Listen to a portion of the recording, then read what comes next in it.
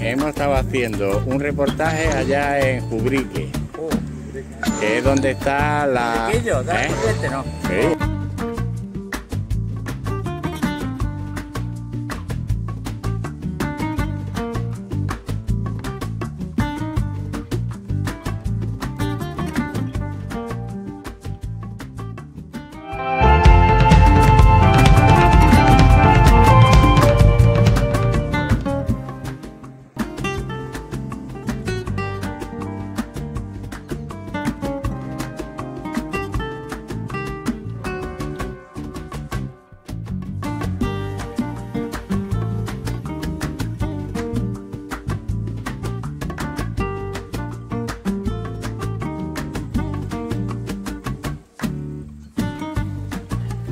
Hoy dejo la ruta del aguardiente y hago la ruta de la castaña. Comienzo en el pueblo Genalguacil. Hacia abajo, hacia el río Genal. Una vez que llego al río Genal me dispongo a subir arriba al pueblo de Jubrique, donde se encuentra la cooperativa de los castañeros de la zona.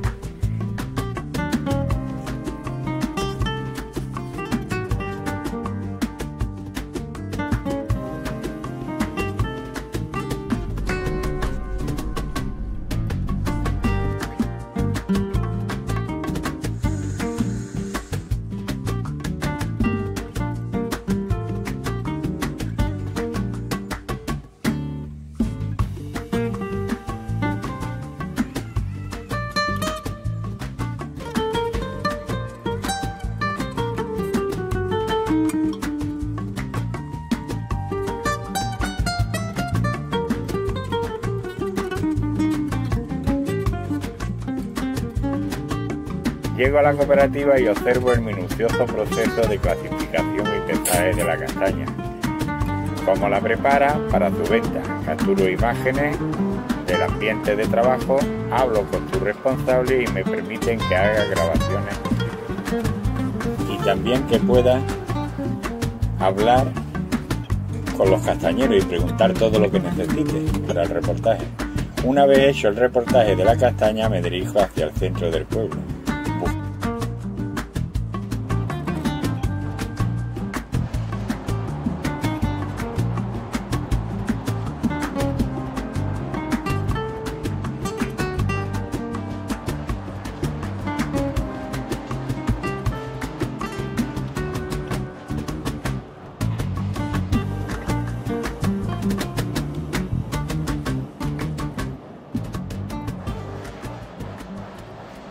¿Cómo va? Por la docena de euros. Ah, Seis do- al euro. No te Seis al euro. Ah, vale, vale, pues venga, una docenita por lo menos, hombre, claro. Muy bien, pues venga, ya, ya lo tenemos.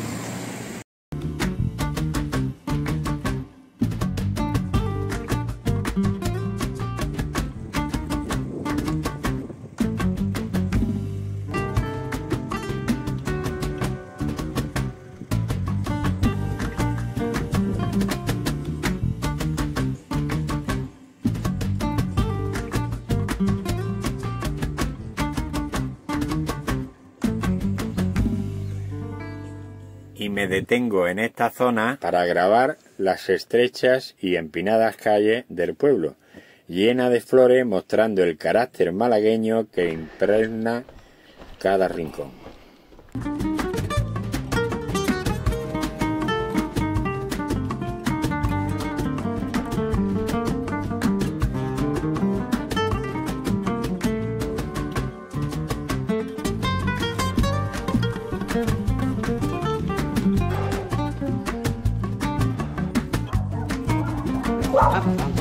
Ya, ya, entiendo, entiendo. Pero tú- siga todo recto y llega a la plaza. Perfecto. ¿Le importa? Es que me va a coger a mí. Pues no sé. no sé. Muchísimas Venga, gracias. gracias. Hasta luego. Adiós. Entre cuestas, cruces de calle, buscando la Plaza Mayor, ando perdido en este municipio de Jubrique, tan bonito y esplendoroso. Buenos días. Para la plaza, todo seguido. Ah, hacia abajo. Gracias. El motivo de buscar la plaza principal del pueblo es por la celebración de una comida para los mayores, con motivo de la festividad en honor de San Francisco de Asís. Tenéis una gran cita aquí, ¿no? La, la de, de los abuelos, ¿no? Mira, qué bien, qué lindo.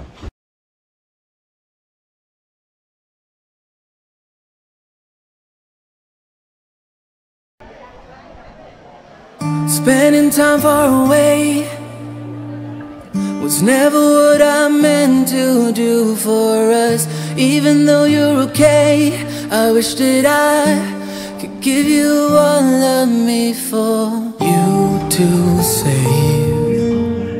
When it gets dark, I'll take the blame for we. Este es el carácter malagueño que impregna cada rincón al caer la noche. Las luces y los farolillos iluminan el pueblo creando un ambiente mágico que yo no dejo pasar en la grabación.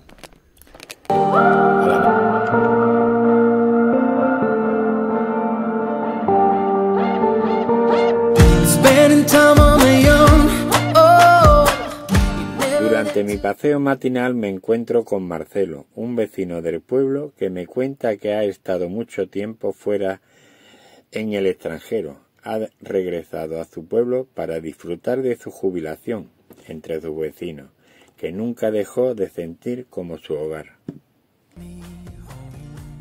Sí es un, un territorio bastante específico en el, en el aspecto de la orografía del terreno, ¿no?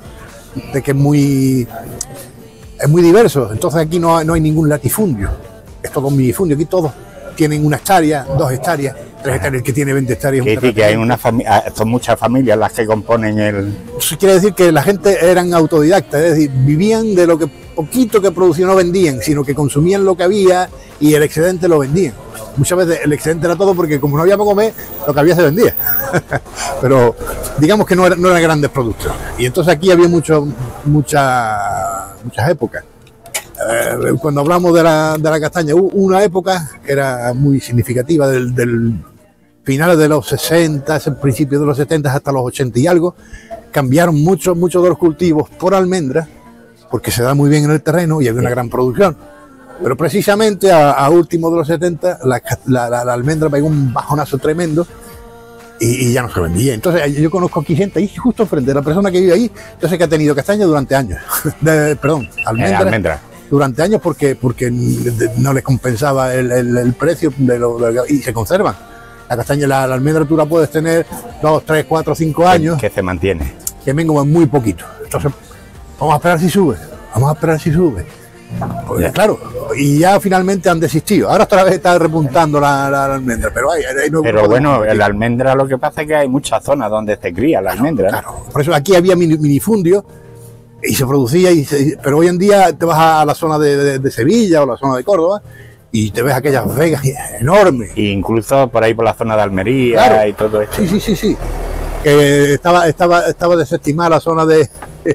Le he quitado el sitio, Que caballero. no, que no, él, él- él es de confianza, total. que quiere bajar. Muy bien. Pues.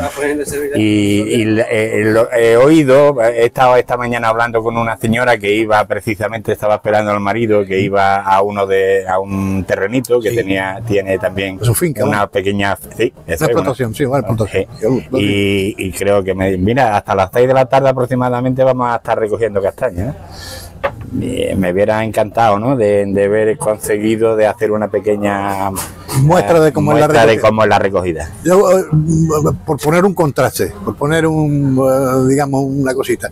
Cuando yo tengo am- amistad de, de muchos sitios, entre otros de, de los olivares de, de Córdoba, de los olivares de la zona de Loja, de, esa zona de ahí, de, de, Antequera, y esa gente tú les hablas y dices, no, yo, allí en mi pueblo un tío solo es capaz de coger 60 kilos de, de aceitunas diarias, 70 kilos, y me dice el tío, ¿estás de broma?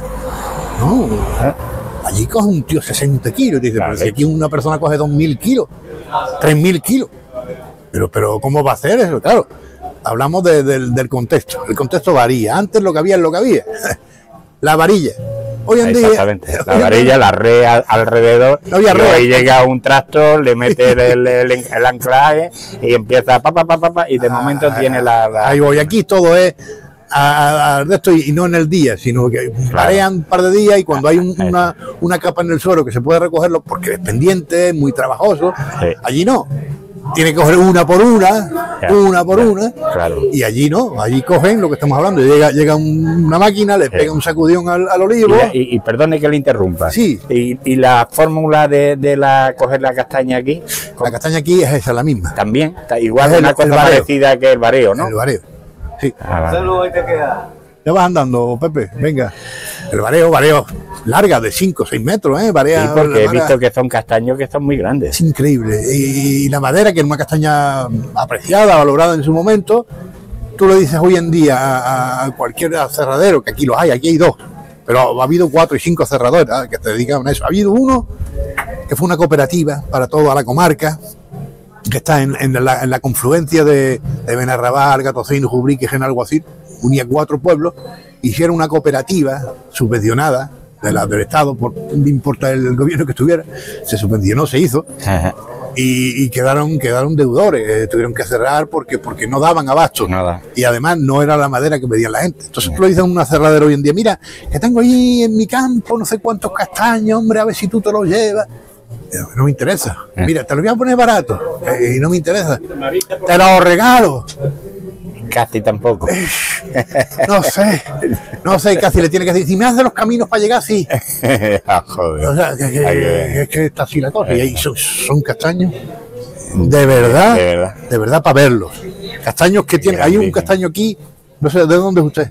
Yo de, de la zona de mm, la zona de Algeciras, bueno, yo vivo en los barrios, yo soy de Tarifa. Quiero decir que es próxima, relativamente próxima. Hay un, un- un castaño que dicen que estuvo allí Fernando el Católico, Isabel la Católica, enorme en Istán, en la zona de Istán, entre, Istán, en, en sí. Iparauta, esa zona de ahí, que se le dicen el castaño del santo. Entre 10 personas no pueden abarcarlo. Quiero Pues decir, que es grande y años que tiene que tener. Claro, y, y si estaba allí, ya celebraron allí una reunión los, los reyes católicos, es que ya, ya hacen Ya, algunos ya, años. Aquí los castaños son muy, muy, antiguos. muy hay de antiguos. todo. Pero mm, que como, como, como curiosidad, co- co- Sí. pero productivos no son a la, a la hora de tener una Ya, ya entiendo, entiendo. Entonces, entiendo. eso es lo que bueno, cambiando de tema, que antes cuando le he conocido yo a usted hablábamos del anís, Ah, del anís de aquí, de, de- y sí que me gustaría de llevarme eh, aquí en, ¿algún- a- ¿Alguna observación? alguna observación exactamente de, Pues, pues mire usted, aquí tema del anís aquí, que por lo visto ha sido muy... era esencial, era, era, era, mm, era una zona vitícola. Es decir, aquí se vivía principalmente de la uva, del vino. Se vendía vino que no era de calidad, pero el productivo era, era aceptable, era bueno. Se vendía, porque en aquellos entonces hablamos de los eh, 1700, eh, Ya ves. 1800, eh, se vendía el vino y, y si era bebible, pues se vendía. Claro, había mucha producción y algunas veces no, no se llegaba a vender la, la producción. entera, completo. Y, y ¿qué era la solución, como pasa con, lo- con los frutos y con Claro, lo demás, hay que claro, conservarlo. hay que- eh, No se podía conservar, bueno, pues vamos a destilarlo. que Ahí sí se conserva, el alcohol sí se conserva. Y eh, en su momento, pues decidieron que, que convertirlo en, en- en anís, En- convertirlo, eh, convertirlo sobre todo en aguardiente, en este caso, ¿no? Fundamentalmente en aguardiente, ya el anís vino posteriormente. Era una solución. Y empezaron, funcionaba, se vendía, lo que los excedentes se vendían y casi era casi mejor que el vino, casi. Entonces llegaron a la conclusión de que, y hubo 400 alambiques en 1800 y pico que está recogido en, me parece que están recogidos en, eh, en las estadísticas de a la famosa familia enciclopédica, este hombre que fue eh, que fue estadista del Estado, hombre,